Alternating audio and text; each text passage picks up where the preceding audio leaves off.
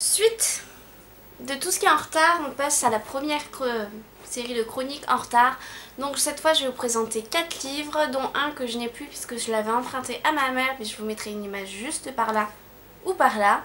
Donc euh, je vais commencer directement par celui-ci. En fait c'est de, euh, il s'agit de Demain les chats de Bernard Weber. Donc j'avais lu l'édition de chez Robert Laffont.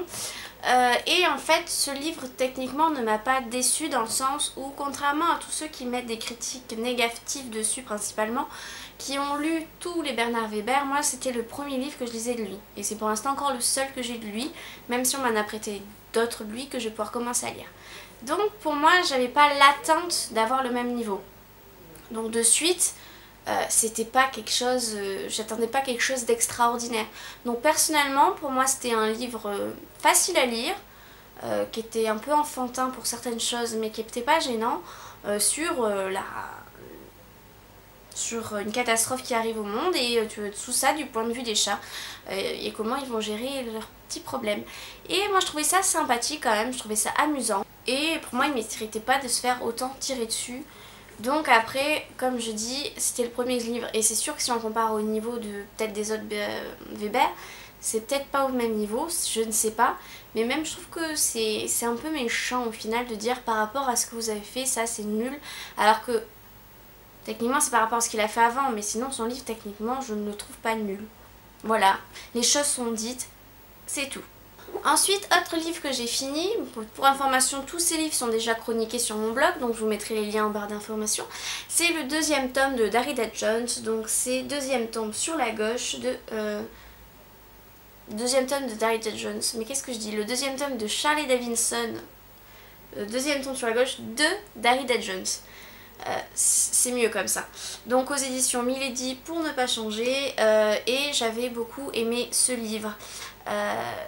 Disons que là on avance un peu plus puisque Reyes, donc euh, désolé pour ceux qui n'ont pas lu le tome 1, là on apprend vraiment à connaître Reyes. C'est euh, vraiment, euh, on apprend à savoir ce qu'il est, leur relation enfin la relation entre Charlie et Reyes, on voit quelque chose qui se passe, c'est vraiment plus comme le premier tome où elle savait même pas qui c'était.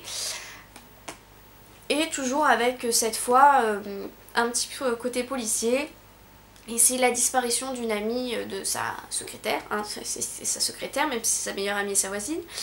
Euh, donc euh, c'est, elle a disparu et tout va se... Pourquoi elle a disparu? Est-ce qu'elle fait quelque chose Quelqu'un Etc. Et au final, ben, franchement j'étais contente du côté policier parce que je ne me suis pas doutée de qui c'était jusqu'à ce qu'on nous dise qui c'était. donc franchement c'est que c'était un bon policier parce que j'en ai quand même eu quelques-uns et en général quand ils sont pas si bien travaillés, je vois arriver gros comme une maison. Ensuite, j'ai euh, fini, il y a très longtemps, euh, Lettre écarlate, donc le premier tome de Meg Corbin, euh, tome 1 du coup, hein, de Anne Bishop, Anne Bishop aux éditions Milady. Pour moi, c'était un véritable coup de cœur. j'ai hâte d'acheter le 2 pour pouvoir lire le 2, hein, même si d'abord j'essaye de finir d'autres sagas euh, sur lesquels euh, il n'y a plus de livres à sortir, notamment euh, Signe Noir. Ça y est, je les ai tous achetés, j'en ai plus que deux livres et c'est fini. Donc voilà, ça m'évitera d'en avoir 3000 en même temps, même si j'en ai quand même 3000 en même temps. C'est pareil, il faut que je finisse les vampires de Chicago puisqu'ils sont terminés et il me manque que 9, 9 je l'ai déjà, il me manque ben, 4 livres je crois et après je les aurai tous sur les 13. Donc oui, c'est ça. Euh, et, tout, voilà, c'est des trucs comme ça, euh, même sur les petites sagas. Hein. Et euh, c'était un coup de cœur. Du coup là on va suivre l'histoire d'une jeune fille qui à chaque fois qu'elle se blesse, donc elle a du sang, ou à chaque égratignure, elle va avoir une prémonition. Donc plus l'égratignure, enfin la coupure est grosse, plus c'est une grande prémonition et importante. Et selon l'endroit ça diffère aussi. Hein. une coupure sur petit doigt, ça va être une prémonition pas très importante, importante. Sur la cuisse c'est autre chose.